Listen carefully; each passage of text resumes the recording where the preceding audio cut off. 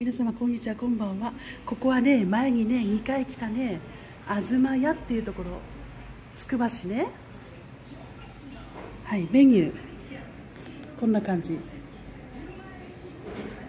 まあまあ安いよね。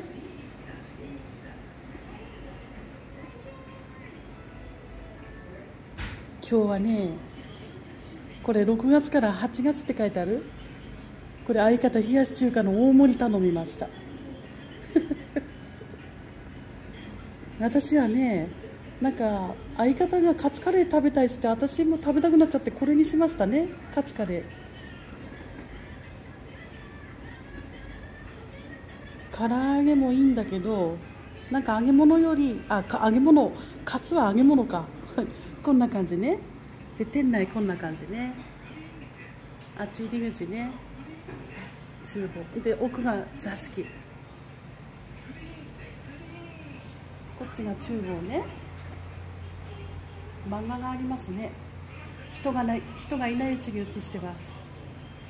ね。テーブルいっぱいあるから 6, 6個。ね。でねこれ一番いいなと思って私よくお水を飲むんでこのねこのサイズのお水いいよね。よくラーメン屋さんにあるお水もすごくいいんだけどね。お水があってありがたいです。いちいち店員さん呼ばなくて済むんで。ねウィンウィンでね。店員さんも忙しいし面倒くさいしね。うん。お水も自分でね。で頃合い見てこれお水入れとけばいいんだもんね。はい。であそうだ。お持ち帰りメニューもあります。東屋東屋っていう名前多いよね。お持ち帰りもできるからいいよねこれね。やっぱりコロナになってからお持ち帰りね当たり前になったよね。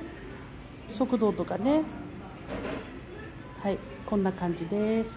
はいお料理待ってます。一旦終わり。